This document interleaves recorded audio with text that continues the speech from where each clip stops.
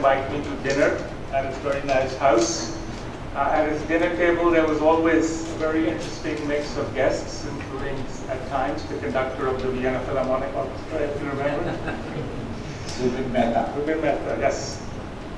Uh, so I've been very grateful to Ambassador Sarwar Naqvi for his friendship over the years. And I'm very glad that on his return to Pakistan, he established uh, his center, which is organizing this event here today. And I've also been privileged to know General Ehsan ul in the context of a nuclear working group where both of us have been working on trying to facilitate uh, the improvement of international cooperation with regard to civilian nuclear programs uh, in Pakistan. Um, and of course my two other panelists, Seventh Hashmi as well as Brigadier Zahir Kazmi. So my comments here are my personal comments and don't represent the views of any organization I am with or was with in the past. I want to put ex nuclear export controls in a slightly broader perspective and then narrow them down to the nuclear suppliers group and then the current Pakistani interest uh, in, in joining the nuclear suppliers group. So nuclear supply control has been on the international agenda from the very beginning of the nuclear age.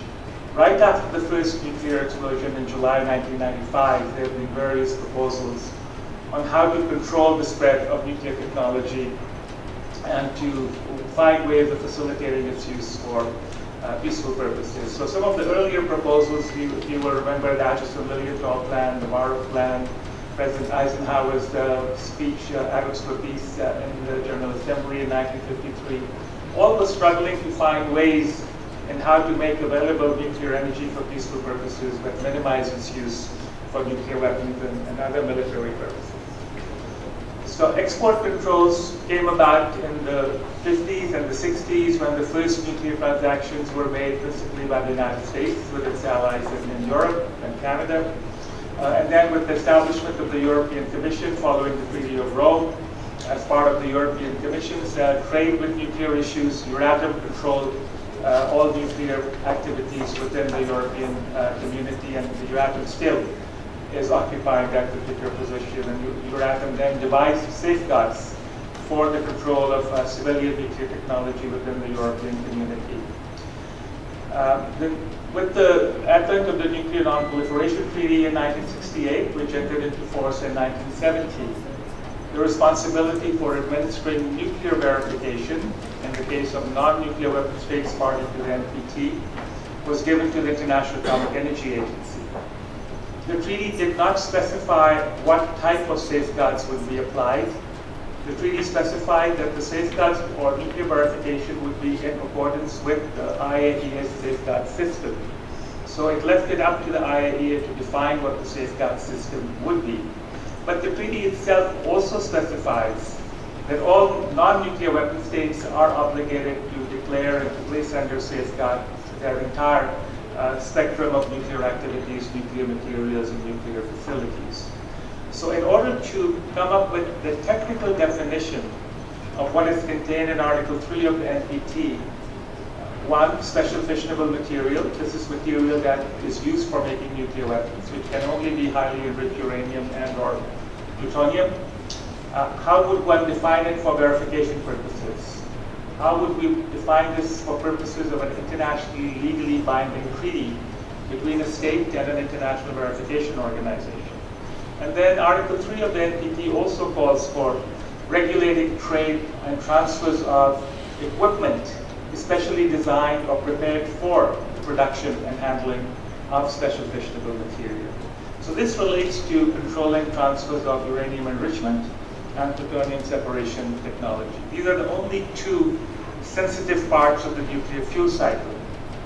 And as you know, the nuclear fuel cycle has no difference. You, you enrich uranium, you can enrich it to a certain level, under 5%, normally between 3.1 to 3.67% for running a light water reactor, or you can enrich to somewhere around 40, 45% for running nuclear powered icebreakers, like in the Russian icebreaker fleet, or you can enrich the uranium to above 90% for use in nuclear weapons, as well as use in uh, uh, naval nuclear propulsion, fast attack submarines, ballistic missile submarines, uh, nuclear powered uh, aircraft carriers. The process is exactly the same. And sometimes when I'm speaking to students in my class, I, I say it's the same process as using milk to, to churn uh, yogurt or to make cheese, and other end of the spectrum. So that is the challenge of the international verification system that one um, that this technology has spread. It is in use in several countries, and how do we verify this cutoff point for use only in civilian purposes? So the very first docu documented description of export controls was made by the Zangger Committee. This was chaired by Professor Claude Zangger of uh, Switzerland. It met in Vienna under the aegis of the IAEA, and its mandate was to define uh, the terms used in Article 3 of the NPT for purposes of safeguard verification and what items uh, would need to be safeguarded in terms of when they would be supplied or exported uh, by supply states. So the first trigger list for nuclear export controls was made by uh, the Nuclear Suppliers Group, sorry, was made by the Zangger Committee. And then following the shock of 1974, where India used nuclear material diverted from a safeguarded reactor in contravention of exclusively peaceful use commitments given to uh, the governments of Canada uh, and, and, the United States. This shock uh, led to a re-examination of uh, nuclear export controls. And then at that time, uh, seven countries, which were the United Kingdom, France, Germany, Canada, United States, including Australia as well, um, they decided that these were the principal suppliers of nuclear material and technology, uh, that they would find a way of how to cope with this challenge, where a country that was not party to the NPT had managed to acquire nuclear technology and expertise and had used it for military or weapons purposes. So as General Ehsan pointed out, even though France at that time was not a member of the Non-Proliferation Treaty, it was nonetheless invited to be a member of the then London Suppliers Group as a supplier. The condition of NPT membership did not exist at that time. This came later. Japan was also invited to join the suppliers group for the London Club. Japan at that time also was not a member uh, of the Non-Proliferation Treaty. Uh, it is sort of interesting that instead of expanding the mandate of the Zangger Committee, which already had a recognized uh, status in the context of the Non-Proliferation Treaty and the IAEA, the Nuclear Suppliers Group met separately. It did not meet in Vienna, which is the United Nations headquarters for all things nuclear in, in, in, the, in terms of the International Atomic Energy Agency.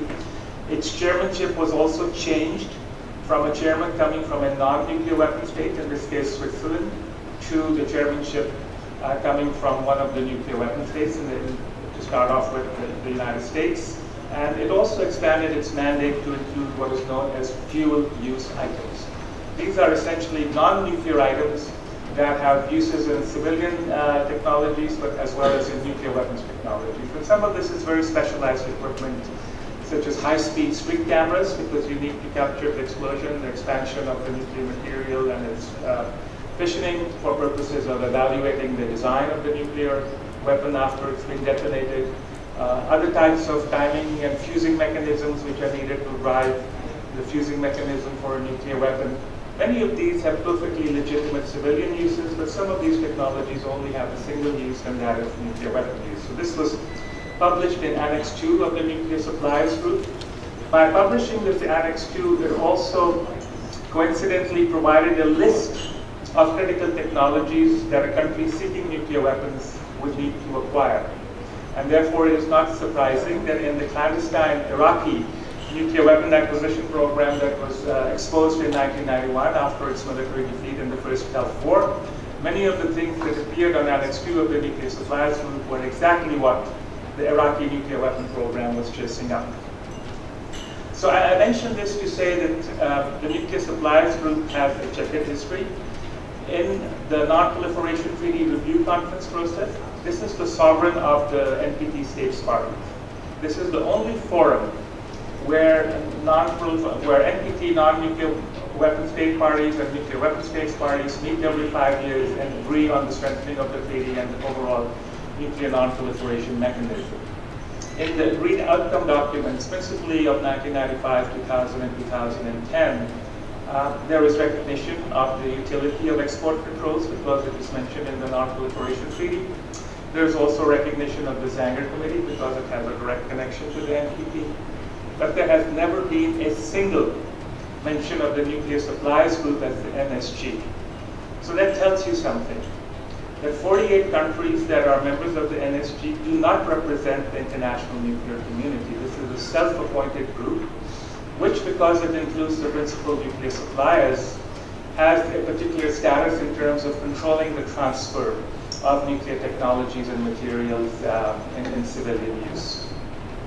Uh, nonetheless, um, in recent years, uh, some people have said that with the exception or exemption given to a non-NPT state in 2008, this particular action is direct violation of agreed Non-Proliferation Treaty Review Conference outcomes of 1995 and 2000, where in 1995 the 178 parties to the NPT and in 2000 the 190 parties to the NPT agreed by consensus that all new nuclear supply agreements must require as a condition of supply full scope safeguards.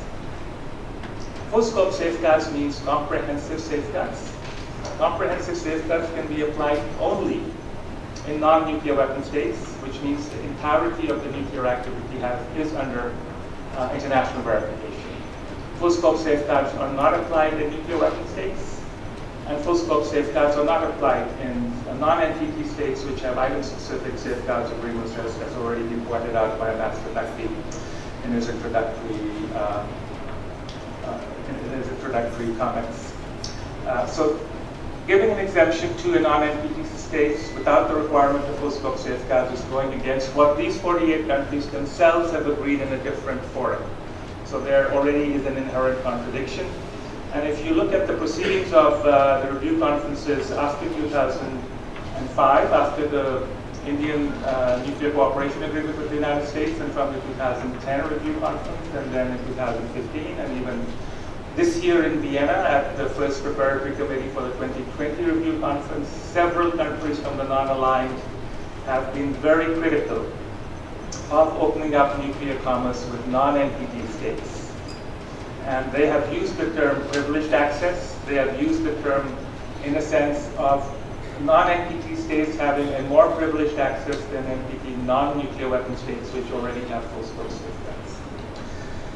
my second point um, relates to the so-called factors that you will find listed on the Nuclear Suppliers Group's webpage as determining, determining the, the criteria or conditions or factors that the group would take into account for admitting new members. But then when you look at the composition of the group, you have you know, some strange countries like Croatia or Cyprus. I mean, there's nothing wrong with these countries as such, but they are not nuclear suppliers they are not transit points. Singapore is a transit point, but not Cyprus or Croatia. So if you look at the map of nuclear supplies group, this is all northern countries, except for Mexico and South Africa. So the bulk of Africa, the bulk of Asia, and many of the South American countries are outside uh, the nuclear supplies. This also in reality affects the international power balance. So I remember my South African friends uh, when South Africa applied for NSG membership, they were given a very, very rough time.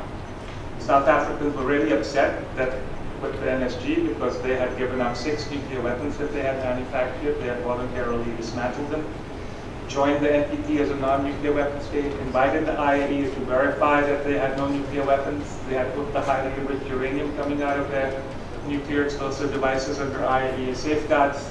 They had the potential to supply enriched uranium. They had the potential to supply uranium enrichment technology. And yet, this nuclear suppliers group was finding excuses for delaying giving them membership, and it took them nearly three years to get access. And that access only came when South Africa finally said, okay, if we don't get access now, we are going to withdraw our application, and we will do what we need to do in our national interest. Um, you, a country like Pakistan, which is not an NPT state, does not need membership in the NSG if it wanted to sell products in the nuclear market. Of course, it, ha it has a problem in buying from on the nuclear market, but not in selling to the nuclear market. Um, the, the, next point I want to make with regard to the fact is, that in the recent discussions following the U.S.-India Nuclear Cooperation Agreement and the 2008 uh, exemption, a lot of think tanks and academics have, have come up with all sorts of different criteria and factors to be taken into account. And this is very much like a Christmas tree. Everything you can shovel into a, into a bin has been shoveled in there. Um, for me, the only one concern is that with NPT states parties is that they have not taken on an internationally legally binding non-proliferation commitment. So they're not going to sign the NPT, India, Pakistan, Israel, so that's reality. So that's off the table. Uh, but then I don't see these three countries, or at least two of these three countries, taking some other internationally legally binding non-proliferation commitment as an act of good faith of becoming closer to the international community. So one of these could be the Comprehensive Nuclear Test Ban Treaty. Uh, although this is not a disarmament treaty, it still restricts one element of um, the nuclear weapons potential by taking away nuclear testing, which obviously has implications for modernization of uh, nuclear weapon arsenals. Uh, this I know is a sensitive subject uh, in this country, and I don't want to belabor the point, but I'm, I'm just putting it on the table. Other criteria that have been put uh, as part of this discussion is uh, signing up to various international conventions on nuclear safety and security, Security Council Resolution 1540, uh, and a bunch of other things. These are very separate. IAEA member states, as part of their membership in the IAEA, already have, in a sense, um, a responsibility to ensure that their civilian nuclear programs, at least, are according to the highest standards of nuclear safety and nuclear security, as agreed by them themselves in the framework of IAEA uh, guidelines, fundamentals, various codes, and interventions. So that does not necessarily belong in the basket of uh, nuclear export controls or nuclear export control uh, mechanism. Um, nor do, for example, other elements such as um, adherence to other export control regimes. This is on the nuclear field. So there is the missile technology control regime, which is again another self-selected uh, control regime. Again, not recognized in terms of legitimacy in international resolutions or international fora. Um, so MTCR is fine for those who want to join for it, but I don't feel it belongs in the discussion on uh, on NSG guidelines. And this is not well known, but I always take some um, um, strange um, delight in mentioning it to each incoming MTCR chairman that we have two members of your MTCR uh, grouping which are engaged in import and export of strategic ballistic missiles. And as you know, the MTCR controls export of uh, missiles which have a capability in excess of 500 kilometers and uh, payload capacity of 300 kilograms. There is one nuclear weapon state whose submarine launched ballistic missiles are leased from another nuclear weapon state.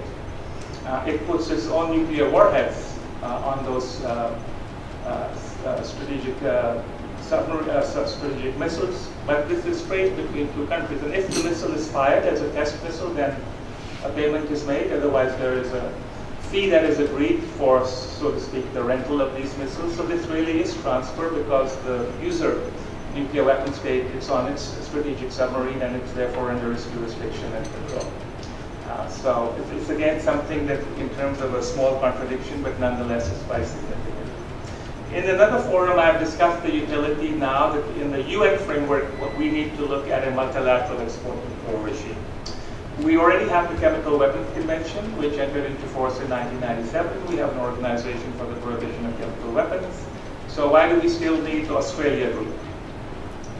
We don't have a global missile control regime, which is why the MTCR is there for some countries, and then they've expanded it into the Hague Code, Code of Conduct, which is more than 100 countries subscribing to it, and I believe Pakistan is, is one of them.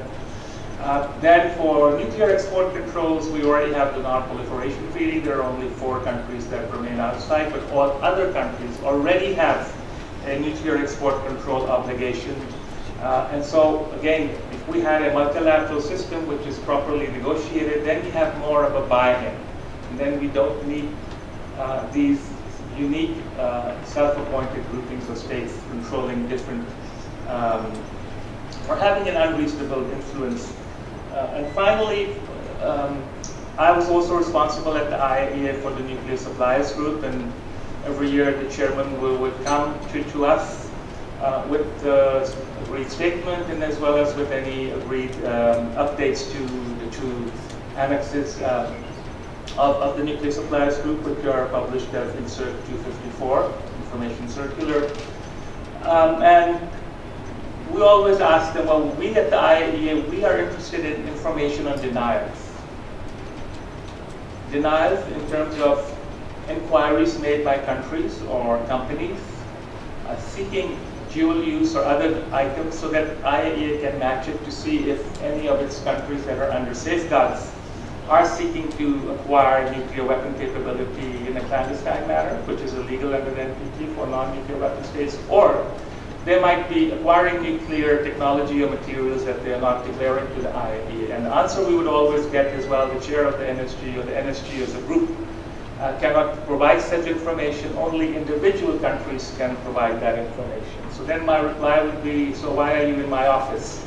I can go to each of the 48 countries and request that information. You are not providing any service to the IAEA. This, of course, didn't go down well, but it also points to uh, that what is sometimes advertised as the non-proliferation benefit of some mechanisms, in practice doesn't always end up uh, being so. Um, finally, the IAEA General Conference in September provides a good venue for countries to hold side events uh, as a way of um, having discussions or uh, putting forward uh, what they might have done in improving nuclear safety, security, or in the case of Pakistan, since we are discussing uh, that over here.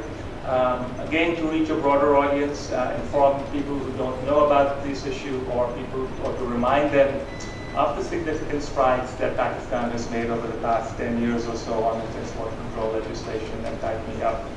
Um, uh, it's, it's, and, and, the case that it has made, and it's generally believed that uh, if you compare nuclear regulators, the Pakistan Nuclear Regulatory Agency has been certified by the IAEA to be an independent regulator. There are still some questions where the PNRA's independence could be further strengthened, but a similar determination has not yet been made of the Indian uh, nuclear regulator. Again, something that is not well known. There is a center of excellence now in Pakistan on nuclear security, which is used by the IAEA as uh, a provider uh, of nuclear security training in a regional context, and the IAEA Director General visited it, I think it was last year. I mentioned it in uh, opening statement at the Board of Governors, and that is you do not have a similar equipment on the other side uh, of the border. So I will stop there.